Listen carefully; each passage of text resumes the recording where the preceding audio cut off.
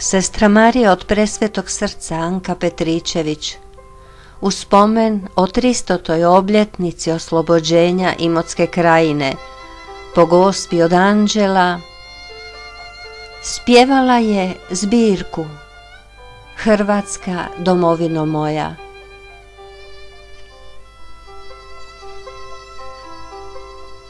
Evo pjesme posvećene gospi od anđela, zaštitnici Imotske krajine. Anđele gospe, majko naša draga, Imotskog kraja zaštitnice slavna, Tvoja je pomoć spasonosna, blaga, hvala za čuda sadašnja i davna. Od mnogih jada izbavljaš nas trajno, nad nama bdiješ kao dobra mati. Srce je tvoje kao sunce sjajno, po sinu svom ćeš svaku pomoć dati.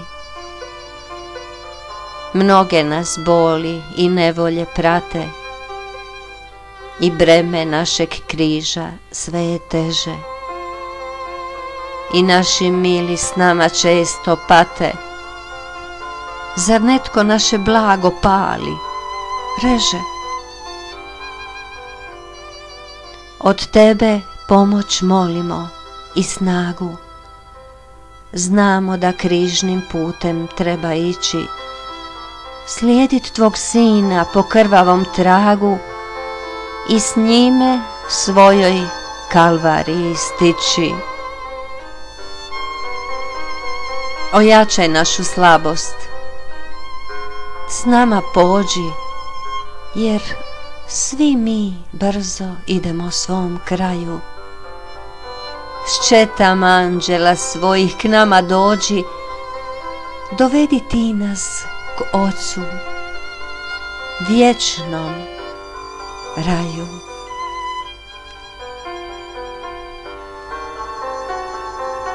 I kaže sestra Marija u predgovoru svoje knjige, a da i mi spoznamo i shvatimo kako nam je u svakom vremenu potrebna nadnaravna milosna pomoć, da bismo mogli izdržati u našim mnogim nevoljama, kušnjama koje prijete sa svih strana, da ostanemo vjerni svome Bogu za kojeg smo i po kojeg smo stvoreni, koji je naš bitak, naše počelo i kojem imamo doći vjerujući u njegovu ljubav koja neće imati kraja. Sestra Marija od presvetog srca. A Marija